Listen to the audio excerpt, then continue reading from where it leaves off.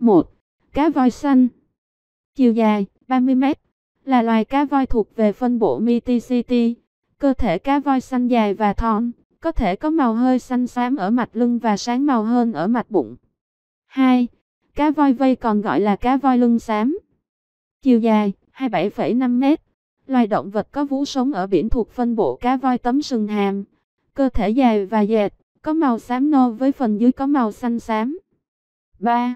Cá nhà tán Chiều dài 20,5 m.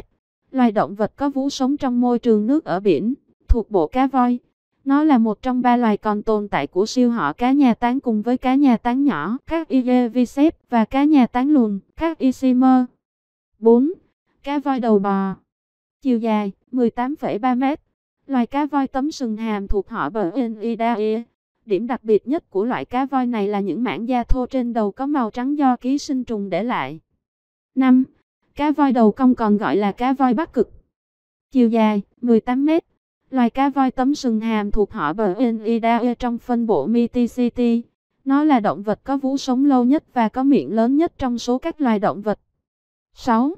Cá voi lưng gù Chiều dài 16 m. Là loài cá voi tấm sừng hàm.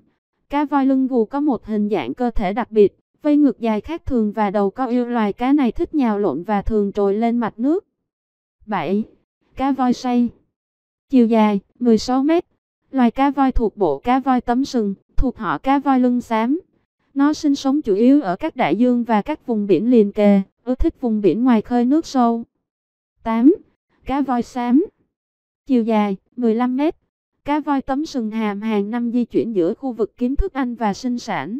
Cá voi xám là loài còn sống duy nhất trong chi Aegypter. Chi này lại là chi sống sót duy nhất trong họ Aegyptidae. 9. E. Cá voi rài Chiều dài 14 mét Là loài cá trong họ cá voi lưng xám. Chúng phân bố rộng rãi trên khắp các vùng biển nhiệt đới và cận nhiệt đới. 10.